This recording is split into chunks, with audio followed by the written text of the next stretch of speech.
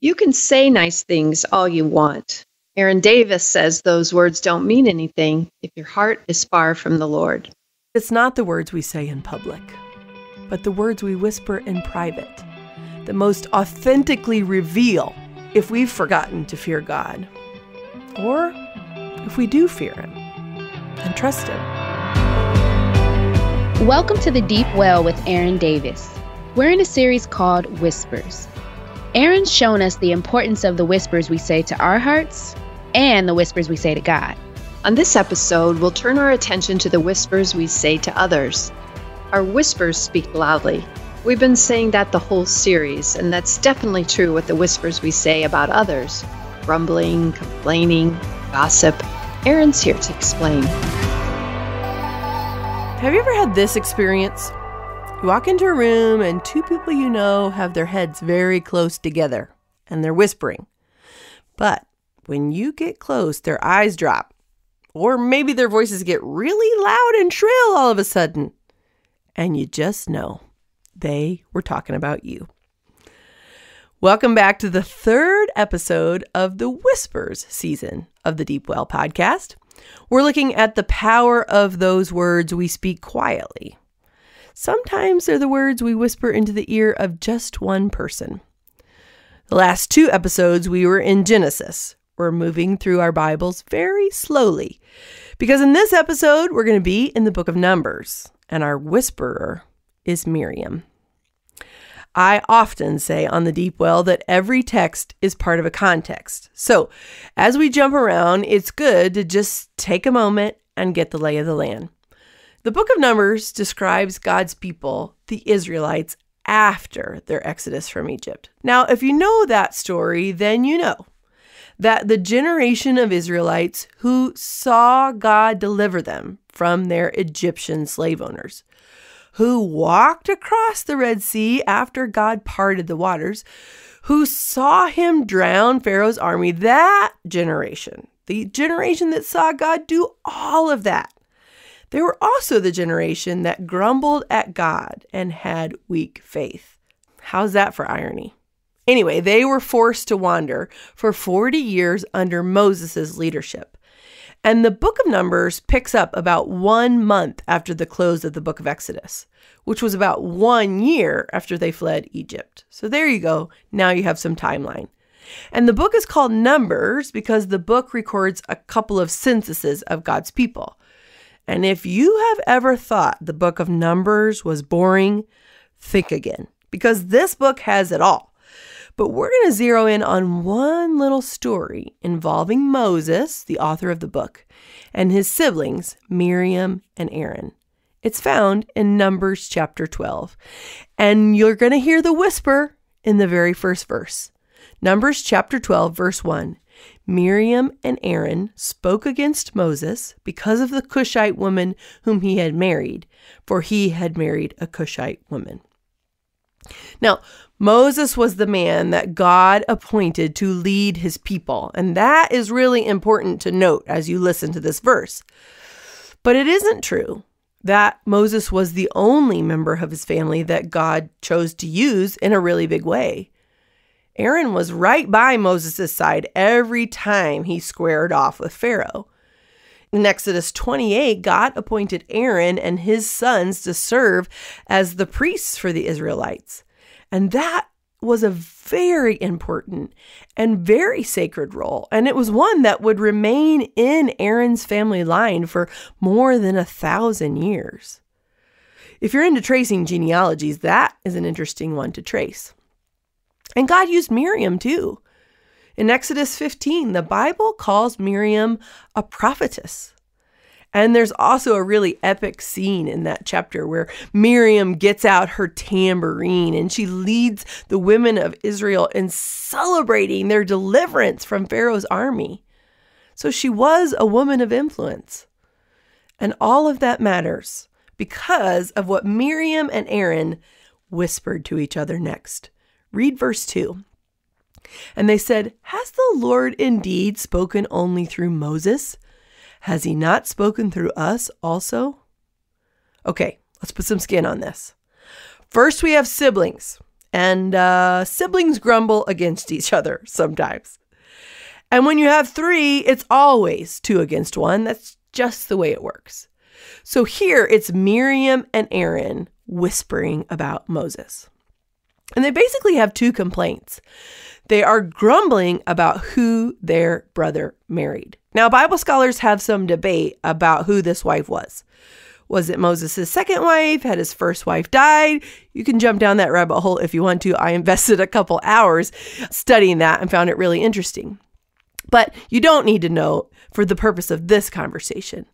All you need to know is Miriam and Aaron are grumbling about who their brother chose to marry, which is a conflict that I think we can relate to. There's an in law, and she's different from them, and they don't like who their brother chose. Any of us who have participated or witnessed this kind of family conflict know it doesn't go well. This is who Moses has chosen, and his brother and sister needed to just get on board. And maybe they did publicly. But privately, when it was just the two of them, they wanted to vent and criticize their sister in law. Their second beef is that Moses seems to be getting all the credit for what God is doing among his people. Ugh, man, I can relate to this one. I'm not proud of it. It's embarrassing for me to admit when I see this particular pettiness laid out in scripture that I have felt and said these same things. I think this is probably what this whisper sounds like from us, likely in a conversation with just one friend. And often what we first say is, ah, I just need to vent. And then we say things like, why did she get invited to teach at the retreat again? Or why do so many women sign up for her Bible study? Or why does God always seem to answer her prayer and never seem to answer mine? Or why do the teenagers in our church seem to flock to her and never to me? It really is an endless list. And I know I'm whining a little bit as I say it. And maybe we don't whine so much when we're having those conversations, but that is what's happening in our hearts. We feel jilted because someone else is getting spiritual attention. And those are not the kind of things we're going to say to a big group. But like I said, one to one, in hushed tones, maybe in a coffee shop, we open up and we say how we really feel. Whispers always start in our heart. And this one starts with envy, jealousy, insecurity. I'm forgetting three really important things. The first is that all people, as in all people, are made in the image of God. The second is that all people, all people are deeply loved by God. And the third is that when it comes to those of us who are in Christ, we're on the same team. There are no bench warmers. Miriam and Aaron forgot. They forgot that God loves Moses. Now, I put that in the present tense on purpose because God still loves Moses. He hasn't changed. And they forgot. They forgot they were on the same team.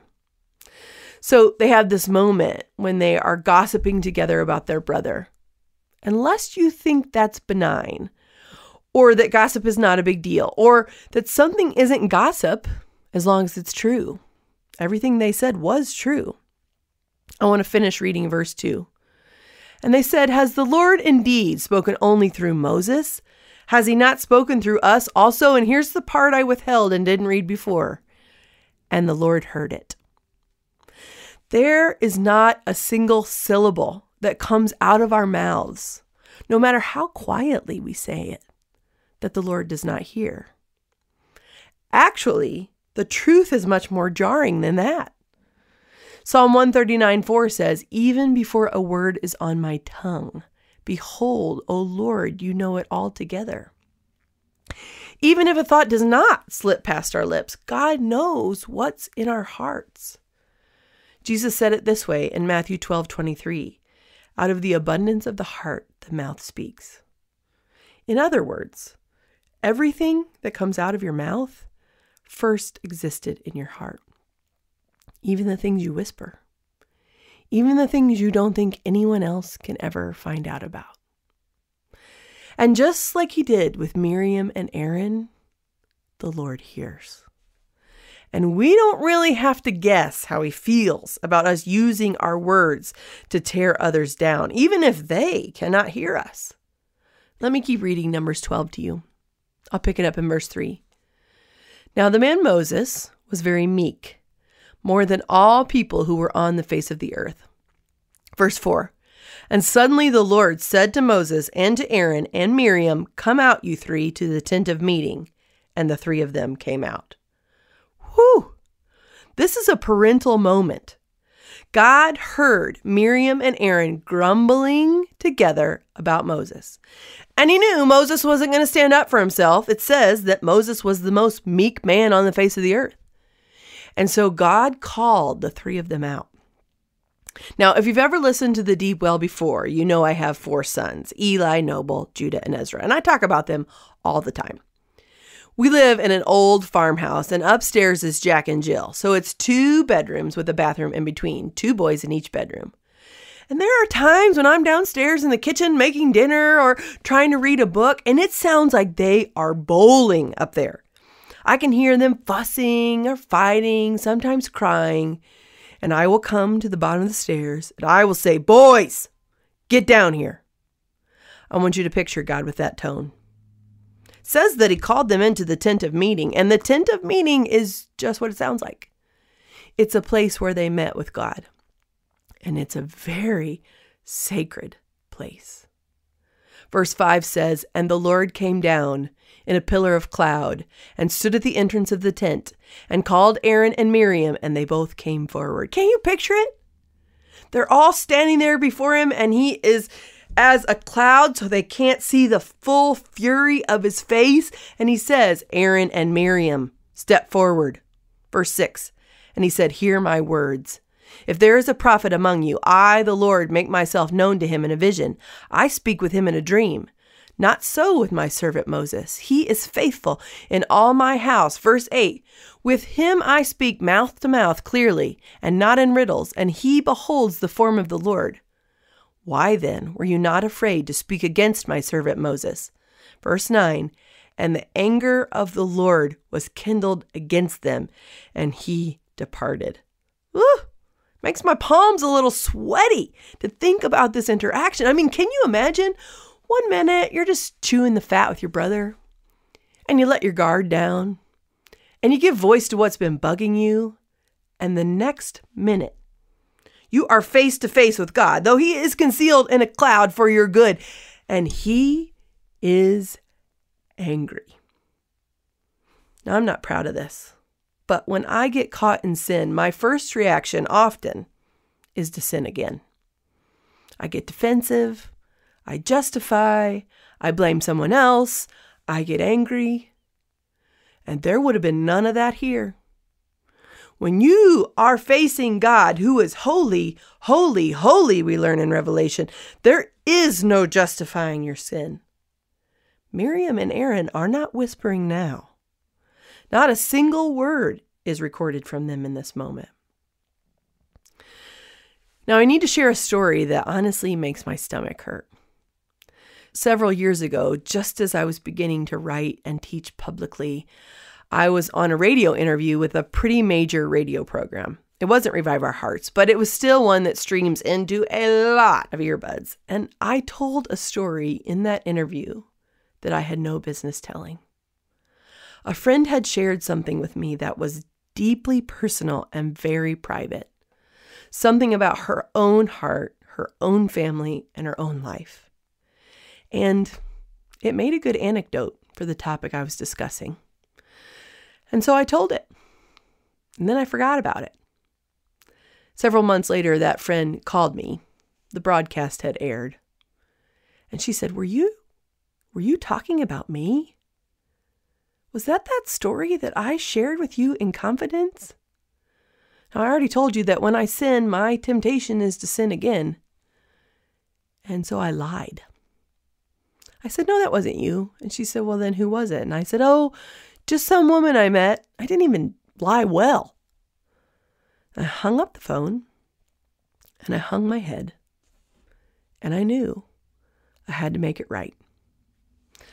So I called her back and very tearfully confessed. And I asked her to forgive me. And she did. But it was a friendship ending mistake. And it all started with just a few sentences said out loud. I never used her name. I rationalized that she would never find out. But I was wrong. And when I came face to face with my sin, my excuses, well, they didn't hold out very long at all. I tell you that because that's the place where Miriam and Aaron found themselves. They just whispered a few words between siblings. But Scripture says God heard. And Scripture says God was angry. I want to take us back to Matthew 12. I mentioned it earlier. It's where Jesus said that out of the abundance of the heart, the mouth speaks. And I want to read you the whole passage Matthew 12, verses 33 through 37. Either make the tree good and its fruit good, or make the tree bad and its fruit bad, for the tree is known by its fruit. You brood of vipers, how can you speak good when you're evil? For out of the abundance of the heart, the mouth speaks. Verse 35 says, The good person out of his good treasure brings forth good, and the evil person out of his evil treasure brings forth evil. I tell you, on the day of judgment, people will give account for every careless word they speak. For by your words you will be justified, and by your words you will be condemned. Jon Bloom said this Christians should be the most careful speakers in the world. We ought to be characterized by two kinds of trembling when it comes to words. We should tremble at the words God speaks, and we should tremble at the words we speak. He goes on to say that that passage that says every careless word, that that should stop us in our tracks. Miriam and Aaron's mistake was not primarily that they forgot to love their brother, although what they did wasn't very loving. It was primarily that they forgot to fear God. And it showed up in the words they whispered to each other. And I would propose that it's not the words we say in public, but the words we whisper in private that most authentically reveal if we've forgotten to fear God or if we do fear Him and trust Him. I go in those boys' bedrooms at night, tiptoe up the stairs. Not every night, but on occasion, I'll go into their rooms when I know they're asleep, and I lay on their floors and I whisper my most important prayers for their lives. That they would love him with all their heart, soul, mind, and strength. That they would be able to stand for him in a world where increasingly that's not accepted. That they would choose women who love him. That they would raise families of children who love him. I don't say those prayers out loud very often. But at night, I whisper them when no one is awake and listening. Well, that's not really true. God's always awake and He's always listening. And He hears us and He sees us. Loud or soft, publicly or privately, you've got two choices, friend. I've got the same two choices. We can use our words to speak life or we can use our words to speak death. In fact, I have this little sign in my home. It came from my friend Andrea, and it just has two words on it speak life. And I look at it often, and it's just a reminder that with my husband, with my children, with my friends, with my coworkers at work, with the people I go to church with, I want to use my words to speak life. And what we choose reveals a whole lot less about how we see the person we're talking about and a whole lot more about how we see God. Anytime I hear somebody teach on the power of our words and God's high, high bar for our words, I always feel convicted. I think this is an area where all of us need the Holy Spirit's help. And maybe that is more intense or less intense. And maybe as you were listening to this episode, you really felt convicted about the words that you whisper. And if that's true, you can thank Him. It's always a grace when God exposes our sin and gives us a chance to run from it. But you also need to hear the rest of the story. Here's Numbers 12 10 through 16. When the cloud removed from over the tent, behold, Miriam was leprous, like snow. And Aaron turned toward Miriam, and behold, she was leprous. Verse 11. And Aaron said to Moses, Oh, my Lord, do not punish us, because we have done foolishly and have sinned. Let her not be as one dead whose flesh is half eaten away when it comes out of his mother's womb. It must have looked horrible, this punishment inflicted on Miriam. Aaron is appalled and desperate. Verse 13 And Moses cried to the Lord, Oh God, please heal her, please. In the margin of my Bible next to that, I have written how to pray for people who need healing because I just love the simplicity and the humility of that prayer.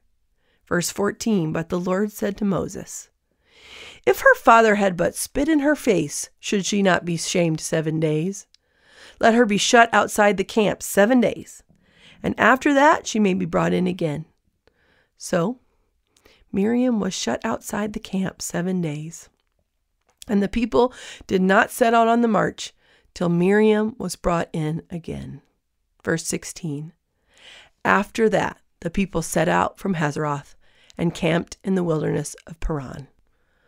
I want you to look at that passage in your actual Bible, and I really want you to underline the phrase Miriam was brought in again. She was brought back into the fold of God's people. She was brought back into God's grace and goodness. Miriam was still used by God, even when she used her words to whisper against her brother. So, if, like me, you've used your own whispers to tear people down, to lie, to speak death instead of life, let your heart be checked by this story. Be wise about what you whisper. But also be grateful for God's grace. He consistently brings us back in. Let's pray. Jesus, we love you, and we know that you love us. And I'm so grateful that this story of Miriam and Aaron is preserved in your word. It shows us that our words, even the words we just whisper, that you hear them and that they have a lot of power. I pray for the women who are listening to this episode. I do pray that you would bring conviction that if we have used our words to speak death, even just whispered words, that we would have our hearts checked about that and that we would repent. But then I also pray that we would sense your grace and that your Holy Spirit would empower us to use our words well. It's in your name I pray. Amen. Erin has been reminding us how explosive our words can be, even words that seem quiet. Erin is in a season of the Deep Well called Whispers. The Deep Well is part of the Revive Our Hearts podcast family.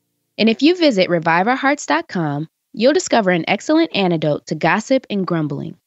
Instead of gossiping about someone who treated you wrong, you can forgive them. Nancy DeMoss Wolgemuth just updated her classic book, Choosing Forgiveness. In this book, you'll go through a complete process of offering forgiveness and you'll discover why forgiveness will set you free. You can get this updated version of the book Choosing Forgiveness by visiting reviveourhearts.com. Okay, friends, it's time for Erin Unscripted. So, Miss Erin, I have to tell you, I found this episode very convicting for my own heart, mm. and that was a good thing. So, thank you for that. I thought one of your most compelling points was when you said we can use our words to speak life or we can use our words to speak death. And I immediately reflected back on the years of raising my children and being married for almost 40 years, the times that I have spoken life over that my family and the times I've spoken death. Mm. I just really admire you, Erin, as a mom of four little boys. And I just wonder how have you found ways to speak life over them? Well, I've learned it the hard way. I mean, there have been times in a moment of frustration or anger, I've been sharp and I see it on their little faces. They feel that and it has a greater impact than I ever intended. I haven't always spoken life. I want that to be clear, although anybody who's ever lived knows that we all make mistakes with our words. But I think I am pretty good about using my words to intentionally speak life. I mean, we pray over our boys every night out loud. They each have their own prayer that I wrote for them when they were little. And I probably never share it publicly because it's way too private part of our family time, but they each have that prayer. They can say each other's prayers. We put them to bed every night with the doxology. We all sing it. And it's just that idea that at the end of the day, we can praise God. That's such a life giving set of lyrics. As a mom of only sons, I think something I learned as a wife was to try and be an expert in my husband's strengths. Otherwise, I'm prone to be an expert in his weaknesses. And I've done the same with my boys. My boys are four very different people. And I know which one is a strong leader. And I tell him that all the time. Bud, you are wired for leadership. And I know which one is more introspective and feels things deeply. And I will point that out in him. And I know which one is the life of the party and has wanted his family to laugh at him since he was in a high chair. And I'll say that to him, oh man, you are the funny bone of the family. You have a hyperactive giggle box, I say, and we just love that about you and I know which one is just got so much zest for life and he's our optimist and I'll speak that. So just I think being an expert in other people's strengths, especially maybe the people you live with and just speaking that like that's a strength that's a good thing and everybody has weaknesses too. And i think one way we speak death is by hyper focusing on those weaknesses. I don't need anybody to point out my weaknesses frankly. I'm aware that i have them and so when people point them out to me that is crushing. But when people point out my strengths i kind of rise to that. So i try to really just praise their strengths one of my mantras that comes from when i was a teacher is praise in public punish in private so if I have mm-hmm. something good to say about somebody, I'm like shouting it from the rooftops. And if I have something not so good to say about somebody, that's a one on one, quieter conversation. So those are some of the tricks of the mom trade I've learned through the years. Stacy, what about you? What is a good example of when someone spoke life over you? I had a teacher, she actually she spoke it in a way where I wasn't getting in trouble, but it wasn't necessarily a good reason she was saying it. But now that I look back, she spoke something in me that I realized was a strength I didn't know I had. And we were kind of like in gym class or something. And our team was losing in basketball. And I kind of got an attitude and I just kind of pulled back and didn't really play anymore. And when I did that, everybody else on my team started pulling back. And I remember she sat me down and she told me, You're an atmosphere changer, you're a mood changer. So be very careful how you lead and how you feel publicly. And I've noticed that. So now I, I try not to fake it, you know, that's not what I'm saying, but I try to make sure I'm very aware because I am an emotional person. I'm very aware of my mood. And when I do kind of need to pull away and kind of get things adjusted and just get right with the Lord before I go back out because I, I do affect moods and the atmosphere that I'm in. So she kind of spoke that into me and I didn't I didn't see it as a good thing when she said it, but now I'm like, oh, what an amazing thing that I can up, uplift people. And I think we all have that ability to a certain extent. But um, I just noticed that my emotions are kind of all on me. So I need to wear the right ones. mm. And just going back, Erin, I really liked what you said about praising in public and punishing in private. I think that's something that's so important because sometimes, as brothers and sisters in Christ, we do have hard truths and different lessons that we need to tell each other so that we can help each other grow in Christ. But it's just all about when you say it and how you say it. That is so crucial. Oh, I totally agree with that. I kind of have a fun story about that. I think I had been married about 30 years when both our daughters got married in the same summer, three months apart. And our girls are very close to my dear husband, Rick. And so our house emptied very quickly as they moved into their lives with their husbands. And Rick's birthday was coming up just a few months after those goodbyes. And Rick doesn't really care about gifts. He, I think his love language is time, quality time. But the girls and I kind of planned that they would Skype in and just speak words of affirmation over him and just thank him for things about growing up in his our home and so he and I sat in the living room and they were at their different homes and they both got on and it was like a surprise to him and that's what we did. We just all spoke over him just what he's meant to us all those years, being such a good provider and loving and just all the different things.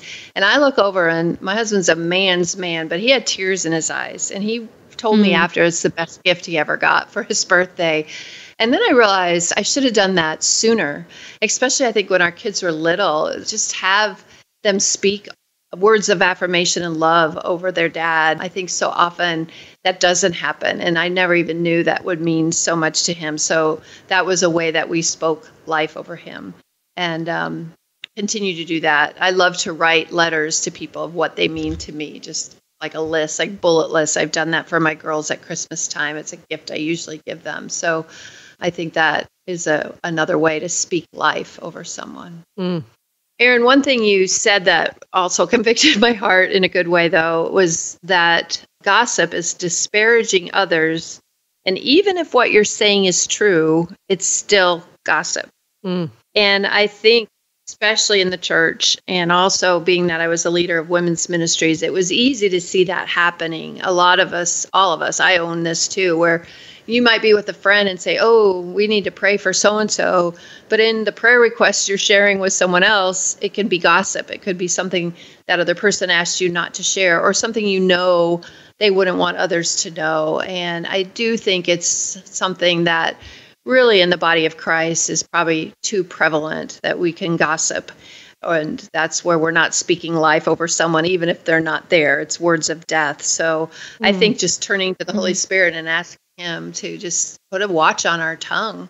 But thank you for saying that because I think sometimes when we think, well, it's true what I'm saying, so it's not gossip, well, that's a lie, right? Yeah, we have a hard time defining gossip because if we really defined it as what it is, so much would fall under that category. We maybe wouldn't have much to say to each other. And it's not gossip if it's true. That's one I've heard and said, or they wouldn't mind me sharing it without really knowing if they would mind or not, or, you know, all these just things that we add to it. And I think it's an old cliche, but would you say that if Jesus was standing right there with you? Well, no, none of us would say anything. Mm. We'd lay on our faces in worship. And that's not a terrible posture to be in. So if the plumb line is, I'm only going to speak life, we will probably talk less, mm. but our words will be so much more of a blessing. I really like too when you said, when I sin, my first reaction is to usually sin again in terms of like Ugh. you get re- reactive or you get defensive. And I was just like, yeah. huh. So it made me like step back and take a look at myself. And I'm like, do I do that? And I think what I noticed about myself I actually tend to kind of switch into victim mode. So I'm like, mm. you didn't mm. want me to say that? I didn't know you didn't want, you know what I'm saying? It's kind of like a, you didn't tell me, you know. So, and mm-hmm. I was like, oh, mm-hmm. that's that's terrible when you really stop and think about it. Yeah. I don't know that I'd call deflecting a sin. I mean, God's the one that defines sin, not me. But I do think, you know, anytime we want to put somebody else under the bus, so we're not the only one under right. the bus, then we're not right. using our words to speak life. Right. One of my boys in particular, my poor sons, I broadcast all the things they do on this podcast, but one of my sons in particular, man, when he is caught saying something that he shouldn't, he instantly uses all of those. He's going to deflect, he's going to defend, he's going to get angry. And we will frequently say to him, buddy, what do you do when you're in a hole? And he will say, stop digging because he just like he will just dig himself deeper and deeper and deeper with his words and he probably learned it from his mama. So i think we use all kinds of different things to try and not look squarely at the fact that no i just spoke death over somebody with my words. They can cause real harm. So erin let me ask you this. What consequences do you think we experience as a result of gossip that we might not recognize as readily as say being struck with leprosy like Miriam was when she mm. was talking about Moses. I actually think the harsher punishment that Miriam received was being cast out of the family of God. Mm. And we experience versions of that. We're not cast out, but there's a, a fracture of intimacy. When you're talking bad about somebody, that is going to fracture your intimacy, whether or not you get caught. It is going to fracture your intimacy with them. And it's not just your intimacy with that person, it's sin. And God, holy God, cannot tolerate sin. So there then is a gap between you and God because there's some repentance that you need to do. And man, we've been sinners our whole lives, sinners since the time our mothers conceived us. So we are, I think, accustomed to that and sometimes don't even recognize it as punishment. But when fellowship is broken, when intimacy is severed between us and others and us and God, it's a very real, very painful consequence. And it should cause alarm bells to go off. Like we should be going, I need to repent because I want to mm. repair. Mm. I want to come back together. I think Miriam, we don't see it in scripture. We don't see her going to Moses and repenting to Moses. But there needed to be some relational repair that happened after she came back in the camp. And we should be eager to pursue that in our Christian relationships, especially. Erin, I loved when you said whispers start in our heart. And mm. we can say that about gossip. And Miriam and Aaron, really, it was all about envy and jealousy and even insecurity. And along those lines, you said that we forget two important things when we gossip or think negatively of people. And that is that all people are made by and in the image of God, and also that all people are deeply loved by God. And that mm. is, I think, an incredible thing to keep in mind whenever we're tempted to gossip. And because sometimes we want to gossip about people who wound us deeply. Right. And you think you're just sharing with a friend who loves you unconditionally and you, you just share that story. Now, I tend to do that probably more than I want to admit. But you also said we're on the same team as Christ followers. There are no bench warmers. And oh, do we need to hear that today?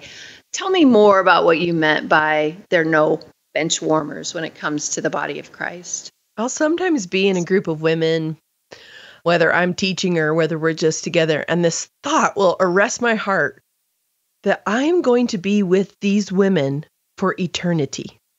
I am never going to escape these women. These are my family forever and ever, uh, assuming they're Christian women, right? And that eternal perspective keeps me from momentary lapses. Not always. We've all admitted we struggle with this, which is why we're talking about it so much. But that eternal perspective keeps me from temporary lapses of like, do I really want to cause damage in a relationship with a person I'm going to be with for eternity?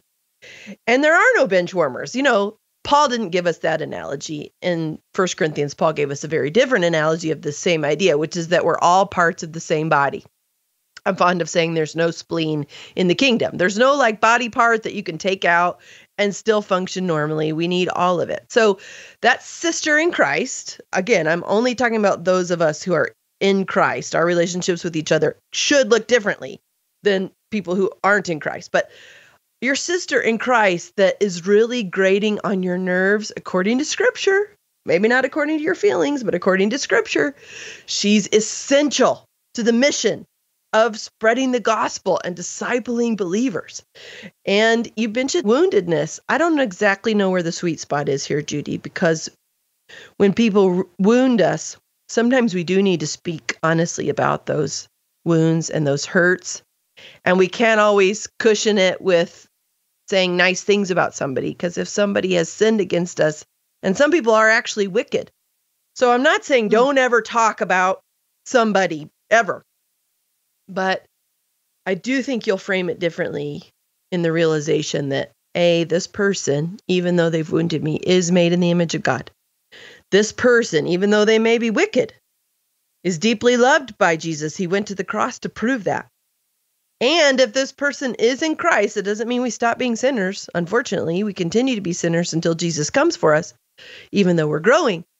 But if this person is in Christ, they are an essential member of the team Team Jesus, but it probably should be your baseline, that baseline understanding when we think and talk about people is that they are made in the image of God, they are loved, and they are essential. And that it just makes me be quiet. There's just a lot of things I don't need to say with all of that in mind. That's a game changer. Like, just honestly, when you think about it that way, that our relationships if the person is in Christ, they're eternal. And it makes you want mm-hmm. to foster those relationships in a different way and in a, a more considerate and delicate way, you know? Yeah. That's challenging for me in a good way. Me too.